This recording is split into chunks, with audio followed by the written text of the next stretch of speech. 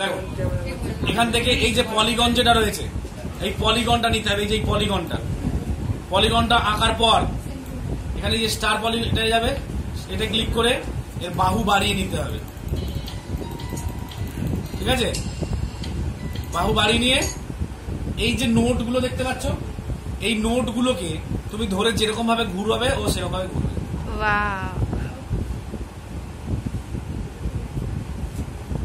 ঠিক আছে? হুম। এবার এই নোটটাকে ঘুরিয়েই আমাকে এই শেপটা যেভাবে আনতে হবে হচ্ছে ব্যাপার। হয়েছে?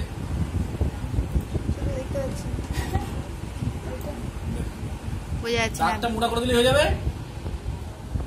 দেখ এবার এরকমই মোটামুটি আর কি একদম সেম হ্যাঁ হ্যাঁ এরকম। তাহলেই হবে। হয়েছে? হুম।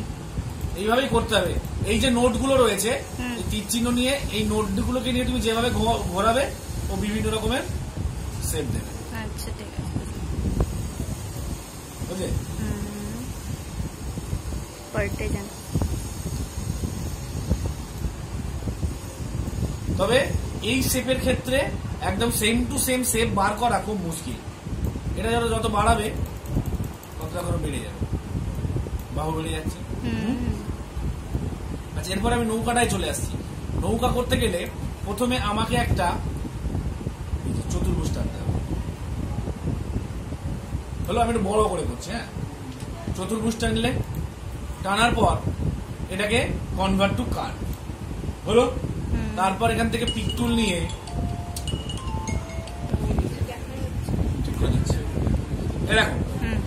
এখানে নিচেরটা পয়েন্টটা করলেও হয় বা এখান থেকে পয়েন্ট না করে এই পয়েন্টটাকেই এদিকে সরিয়ে আনলেও হবে। আচ্ছা। ঠিক আছে? এই পয়েন্টটাকে সরিয়ে আনলেও হবে বা আবার তুমি এখানে পয়েন্ট তৈরি করে এই দিকের পয়েন্টটা ডিলিট করে দাও যেটা খুশি। আর এখানে টপাটপ করে দুটো পয়েন্ট করতে হবে এই। এই নোটগুলোকে এই নিচে নামাতে হবে।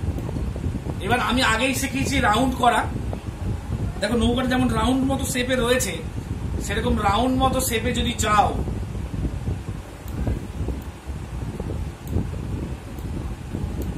তাহলে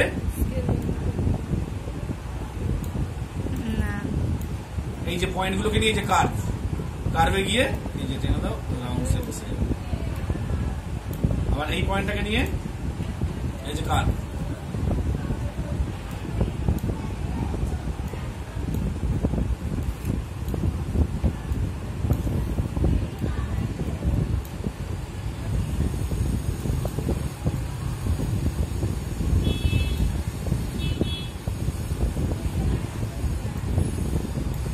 হ্যালো?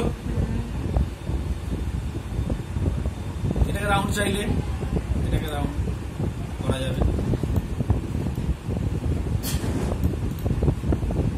শেপটা এলো। এবার প্রথমে পালগুলো বানাতে হবে। পালগুলোর মধ্যে প্রথমে আছে কি মাছ, তাই না? এটা বানাতে গেলেও সব সময় আমরা এখানে যা কাজই করি না কেন, আমাদের মাথায় রাখতে হবে কাজ হবে আমাদের কিন্তু চতুর্ভুজ নিয়ে।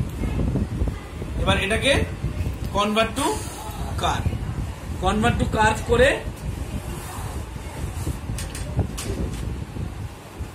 এর মিডিলে একটা ডবল ক্লিক করে মিডিলে একটা পয়েন্ট তৈরি করতে হবে। এই যে মিডিলে এবারে মিডিলের পয়েন্টটাকে সামান্য এগিয়ে দিতে হবে। আর উপরে কটা পয়েন্ট আছে বলো তো কটা নোট আছে উপরে? তিনটে।